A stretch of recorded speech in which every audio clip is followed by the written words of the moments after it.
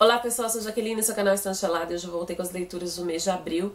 No mês de abril eu li muito mais do que eu imaginava, porque até a primeira quinzena só tinha lido um livro e depois deslanchou. E foi muito boas leituras. E eu vou começar com o livro, falando sobre o livro Tudo e Todas as Coisas, da Nicola Jung, que vai contar a história da Mad. A Mad é uma garota de 18 anos, ela sempre viveu trancada em casa porque ela tem uma doença, meio que uma alergia do mundo.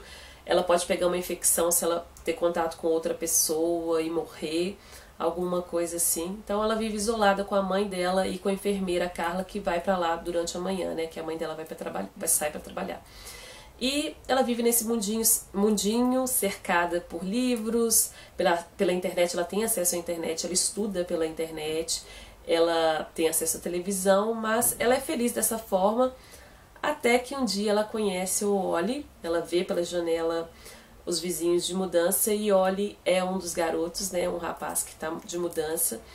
Ele olha para ela, ela olha para ele e ele fica meio intrigado porque que ela só fica trancada dentro de casa. Já, ele já tentou contato com a mãe de, dela, né, só que a mãe dela meio que não deixou mesmo, né? E de alguma forma eles conseguem trocar e-mails e eles começam a conversar e a partir disso surge alguma coisa. Eu gostei do livro, muito mais do que eu imaginava e eu achei que alguns pontinhos ficaram não ficaram tão bons assim, eu achei que deveria ter sido mais elaborado, mas a história tem uma reviravolta que eu achei um pouco, para mim, previsível, mas mesmo assim eu achei legal a forma que a, que a autora caminhou e foi muito bom, assim, foi muito boa a leitura que eu fiz. Então eu dei quatro estrelas e meia. Eu achei que valeu super a pena a leitura e recomendo, sim. É um ótimo livro, muito mais do que eu esperava, com certeza. Depois eu li O Diário de Zatla, da Zatla Filipovic. A Zatla era uma menina de 11 anos quando ela escreveu o diário. Ela morava em Sarajevo, quando estourou aquela guerra lá na, na ex-Yugoslávia, né?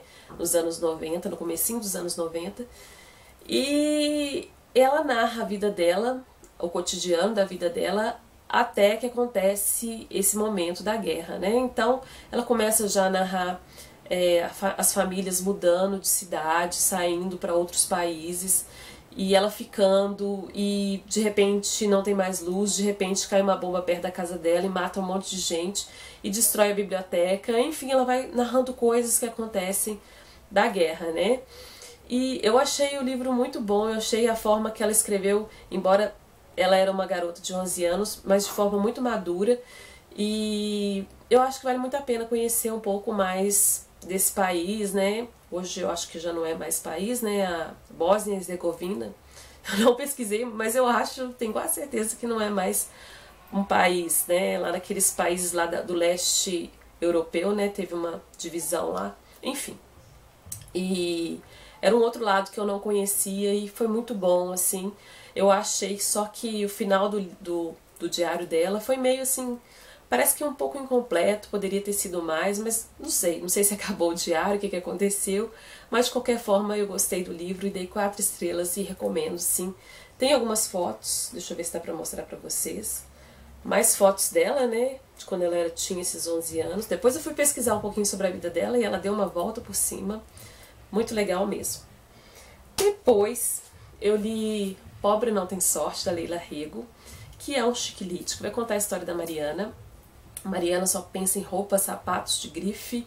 Ela vai casar com o Eduardo, né? O Eduardo é rico, ele é um médico bem sucedido e ela é uma garota pobre, né? Até que um dia o Eduardo falou que não quer casar com ela e a vida dela se complica um pouco aí. Ela vai contando a história dela, da vida dela e eu achei super divertido. Eu gostei muito desse livro. Podem me julgar, gente, mas eu dei cinco estrelas. Eu nunca dou cinco estrelas para um chiquilique, mas esse aqui me ganhou. Eu acho que eu li num momento legal, que era para rir, para se divertir. Eu estava precisando disso, então acho que isso tudo contribuiu para dar cinco estrelas pro livro.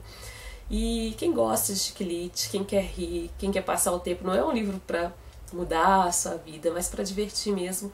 Recomendo. Eu quero muito ler Pobre Não Tem Sorte 2. Quero ler Amigas Imperfeitas, que é um livro que eu tenho na minha estante. Depois de ler esse livro e conhecer a escrita da Leila Rego, me deu mais vontade de ler coisas dela. Então, tá aí, recomendo demais. Depois eu li O Quarto de Guerra, da, do Chris Fabre, que é um livro baseado no filme, né? Eu fiz um post no Scooby, vou deixar o link aqui falando um pouquinho sobre o livro, porque é um livro com uma temática cristã e eu acho que não é todo mundo assim que se interesse. Mas se você tiver interesse em saber um pouco sobre a história, deixei lá, vou deixar o link aqui, é só acessar. Ah, e muita gente está me pedindo para fazer vídeo com indicações de livros cristãos. Eu vou fazer sim, não vou prometer o dia, talvez esse semestre, mas se eu não conseguir, no segundo semestre eu faço. Eu só tenho que ler mais alguns que eu tenho na minha estante. E aí eu faço o vídeo pra vocês, ok? Um outro livro que eu li que eu gostei muito, que foi o Stoner, do John Williams, que vai contar a vida do William Stoner. Ele era um rapaz que nasceu no campo, né, na fazenda. Os pais dele eram pessoas muito humildes, que cuidavam da terra. E até que um dia o pai dele soube que, por uma outra pessoa, que seria bom se o William fosse para a faculdade. Ele falou, conversou com ele, ele era uma pessoa de poucas palavras, né? Eles não tinham muito aqueles, aquela conversa entre família, mas ele falou com ele e o Stoner concordou, o William Stoner concordou. E foi para estudar ciências agrícolas, eu acho que alguma coisa assim nesse sentido. Só que chegando lá ele se apaixonou pela literatura, pelos livros e quis seguir um outro rumo na vida dele por meio da da, das letras, né? E o livro vai narrar todo, toda a trajetória acadêmica dele até a fase adulta, né? Até ele envelhecer. É um livro que não tem, assim, também grandes acontecimentos, não. Mas a forma que o livro foi narrado é tão bonita. Eu acho que pela história, pela história eu dei quatro estrelas no Scooby, mas pela forma que ele é escrito, esse livro é escrito, eu daria cinco, estrela, cinco estrelas tranquilamente. Então, é um livro assim que me surpreendeu. Muito bonito assim a forma que o, que o autor escreve mesmo. Então, gente, conheçam essa história porque eu acho que vale muito a pena. É, é isso. Eu gostei mesmo do livro. Depois, na verdade, esse livro eu ainda estou lendo, que é o livro é, Primeiras Histórias do João Guimarães Rosa, mas faltam acho que 50 páginas, acho que mais ou menos isso, faltam quatro contos. É um livro de contos. Esse livro aqui estava no desafio de leituras para o mês de abril, né? Era um livro que tinha o primeiro nome do autor com a mesma letra do primeiro, seu primeiro nome. Então, eu escolhi o João Guimarães Rosa, meu nome é Jaqueline, então eu escolhi o J.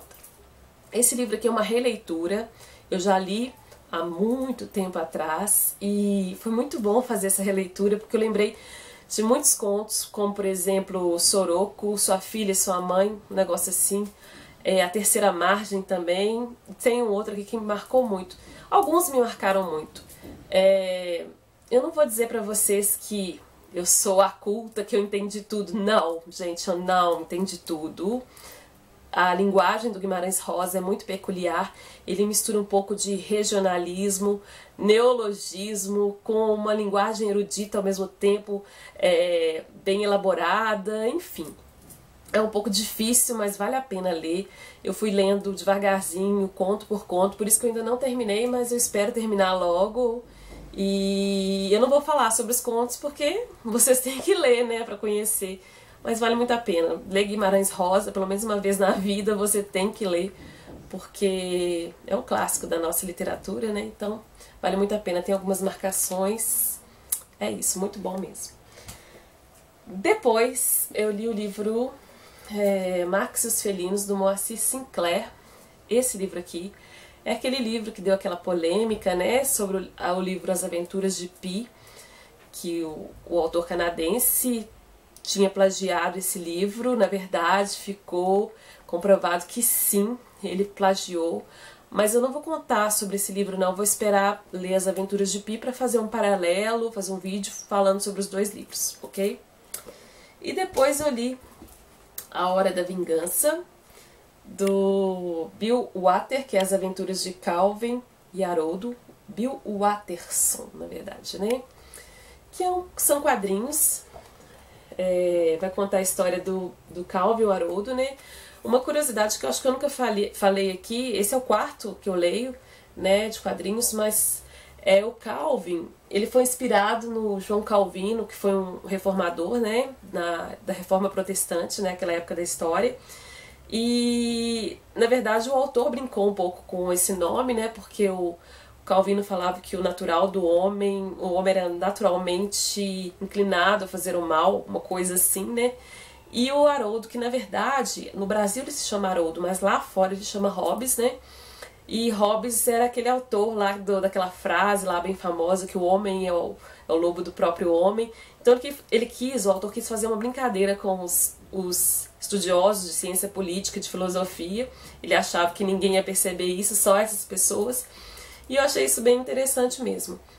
Mas o livro em si, quer dizer, as, o quadrinho, os quadrinhos em si, vai falar sobre esse menino espirituoso que tem como esse amigo o, o Haroldo, que é um tigre, que na visão de todo mundo ele é um, ursinho de pelúcia, né, um tigrinho de pelúcia, mas na visão do, do Calvin ele é um garoto, ele é um, um animal da natureza, amigão dele, e eles se metem em altas enrascadas, em aventuras, enfim. Muito legal, recomendo. Esse aqui foi um dos melhores que eu li dos quatro, dos quatro que eu li. Dei cinco estrelas e recomendo demais. Então, pessoal, foram isso tudo. Estou até cansada de tanto falar. Foram muitas leituras muito boas, como eu disse. E me contem aí que vocês andaram lendo, se já leram algum desses livros, se concordam comigo que é isso tudo que eu achei ou não, enfim.